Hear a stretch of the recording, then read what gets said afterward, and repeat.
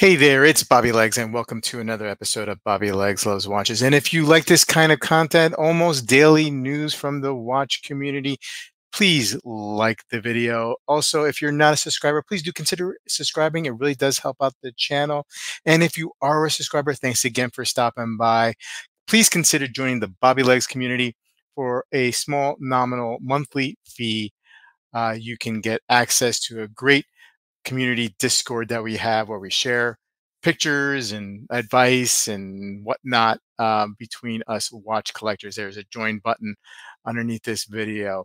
Let's get going. We have a lot to report, all coming from monochromewatches.com and Tudor introducing uh, the boutique only Tudor Black Bay Chrono Blue a handsome looking watch. I'm really liking this piece. I've heard rumors about this piece coming out, and uh, the announcement uh, on Monochrome at least was made today. You got the typical snowflake hour hand here. Very, very legible. Love this look on this five link bracelet. 41 millimeter case diameter, 14.2 millimeter case height, 50 millimeter lug to lug. So you're going to fit a lot of wrists especially above the six and a half inch mark, I would say, uh, using this Breitling derived automatic movement. Um, just a really cool looking piece. Let's take a couple look at uh, a couple looks at the at the images here. Uh, just a great piece. Just I, am really liking it. You got the date of the six o'clock window. I love the contrast from the sub dials with the dial. Uh, makes it very very legible. Like I said again, and uh, yeah, the caliber MT5813 manufactured based on that Breitling B01 COC certified, COSC certified automatic integrated chronograph with column wheel and vertical clutch. Just a just a great little package here for around 5,300 Swiss francs, 5720 euro.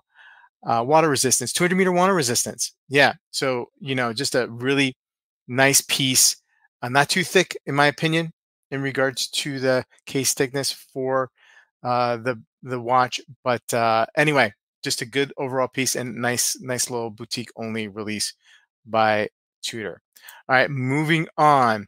Uh, MB&F, yeah, and L'Epée, L'Epée, 1839, collaborating on the what they are calling the Albatross, the friend's most audacious co-creator uh, co-creation ever. Okay, so you're not going to be putting this one on the wrist, right? Although maybe at first you're like, eh, am I putting this on my wrist? Because you know that's what some of these uh, watches look like.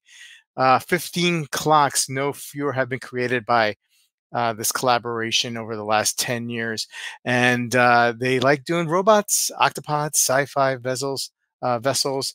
Uh, this one is um, a brainchild of the designer Eric Meyer.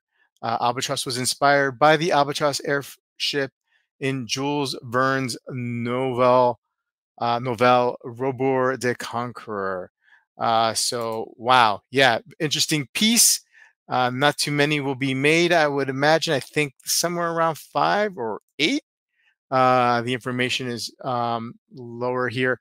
Uh, the Zeppelin's made out of whopping 1,520 components, chiming both uh, featuring a striking hour function, chiming both the specific hours on the hour and the single strike on the half hour.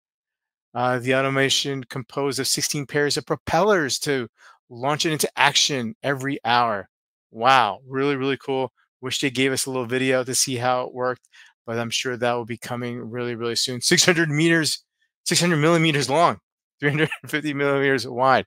So, I mean, unless you're Paul Bunyan, you're not going to be wearing this on the wrist uh, five limited editions of only eight pieces each. So I'm thinking that's 40.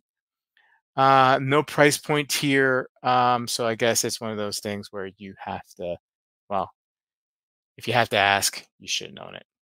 All right, moving quite along to the Vacheron Constantin Métiers d'Art, the legend of the Chinese zodiac. It's the year of the snake, everyone.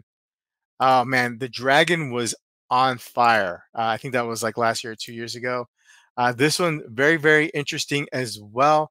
You have um, at the top at the 11 and the two o'clock position here, one o'clock position here, uh, an hour and uh, a minutes, and below at the let's call it the seven o'clock and the five o'clock, the day and the date of the day. Uh, let's read a little bit more about this.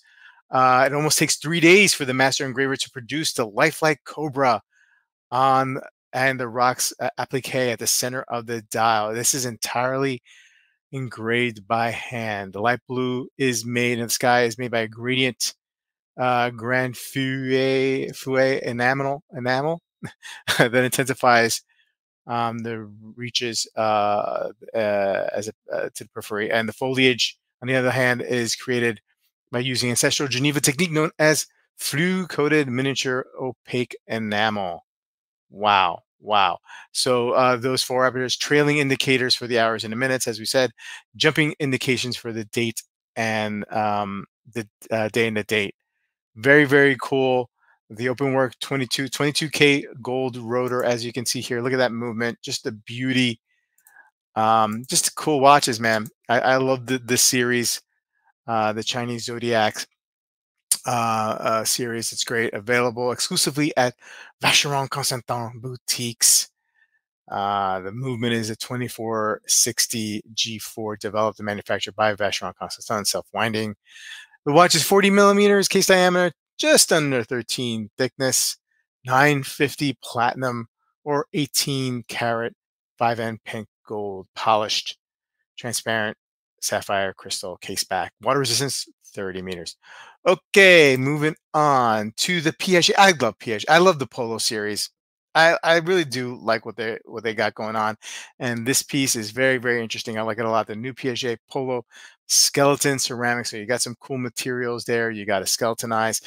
Not so I said it before. I'm not a huge fan of skeleton watches, but the contrast here lately, I've seen a couple skeleton releases that I've liked. Uh, the that exclusive limited um, Tonda by Parmesan uh, Parmigiani Fleurier um, with the contrast. I feel enough contrast with the hour uh, uh, and the minute hand and, the seas and the uh, skeletonized case uh, movement dial, what have you. Uh, here, no exception to that. That this looks good. Uh, I could, I could, looks like I could tell the time uh, fairly easy, and that's very important uh, while maintaining that skeletonized look. Uh, looks like it's on a rubber strap. Um, just a cool piece. Let's get into some details here. Um, oh, looks like you can get it with a blue strap and a black strap. Very nice. 42 case, 42 millimeter case diameter. Wow, very thin. Wow. Seven and a half millimeter case thickness. Uh, the classic polo case with a new construction combing, combining brushed and polished black ceramic. It's a two-part case, crown and bezel. Uh, the central container is black DLC coated titanium. Nice. The movement is the Piaget 1200S1 in-house automatic movement, 44 hour power reserve, hefty price of 40,100 Swiss francs. Moving on. IWC uh, coming out with a stylish Portofino chronograph 39 very slender or or more I would say dainty looking piece. Not really loving it. Uh, I I do like some Portugiesers. Most I don't really care for. Um, but uh, this is a nice little dressy chrono. If that if you fancy that, um, 39 millimeter again. Uh, you know I'm not opposed to small chronographs, and I'm sure it looks probably bigger uh, because there is no you know bezel, countdown bezel, or chronograph style type bezel. But um, yeah, yeah, sleek, sleek and uh, and 13 millimeters case um, height, uh, 13 millimeter case height, 39 millimeter case diameter, stainless steel polished, uh, IWC caliber 69 355 manufacturer movement, made by Val automatic, autogramic, automatic, uh, integrate. I'm sorry, integrated column wheel chronograph. Uh, looking around 7,600 uh, francs, French, uh, Swiss francs for that one. Uh, moving along to the other IWC update, and this is the updated IWC Portugieser Yacht Club Moon and Tide, the first IWC with a silicone hairspring. Wow, uh, interesting piece. I I, I, I dig it. Uh, the functionality is not for me. This yacht low tide, high tide. Um, but uh, it's a very very sporty piece, um, and um, not so bad. Not so bad. I kind of dig it. Kind of dig it. Um, let's look at some uh, of the uh, specs here. 44.6 millimeter case, a big boy. Uh, but typically, uh, you know, I've seen yacht pieces or yacht style watches on on the bigger side. 13.4 millimeter case diameter. Um, I mean, uh, case height. 100 meter water resistance, caliber 82836 in-house automatic with Pellaton winding system, 22 joules, 20,008 uh, 28,800 vibrations per hour, 60 hour power reserve. Wow. Um, double moon phase for the northern and southern hemispheres. Deviation one day in 125 years. So, very cool. Spring uh, tide and, or neap-tide display. Uh, 22,000 uh, Swiss francs for this piece. Uh, safety folding buckling with fine adjustment, steel bracelet with brushed H-links and polished center legs. Okay, black lacquer dial rhodium plated hands. Nice. Uh, and uh, finally, uh, okay, you got Grand Seiko, another seasonal themed uh, release here. And this is the autumn Theme Grand Seiko Elegance Spring Drive SBGA 499 sporty yet elegant proposition for from Japan with character full red dial to welcome autumn.